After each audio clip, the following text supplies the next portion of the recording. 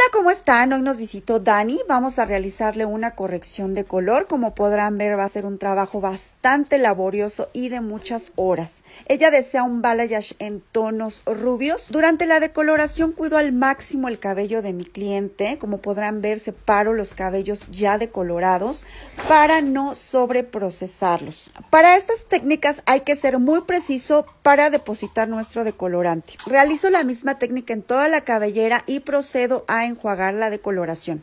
La decoloración no quedó uniforme porque traía residuos de tintes. Así que vamos a utilizar un armonizador que nos va a ayudar a bajar todavía un tono más. Y así vamos a lograr que nuestra decoloración se vea más pareja y uniforme. El segundo paso, por supuesto, es nuestro shampoo matizador para terminar de neutralizar los visos amarillos. No acostumbro a depositar demasiado shampoo matizador, ya que también nos puede crear tonalidades no deseadas. Procedo a enjuagar y ahora sí con mi decoloración mucho más uniforme aplico el matiz. El tiempo de pose del matiz va a variar dependiendo el tono deseado.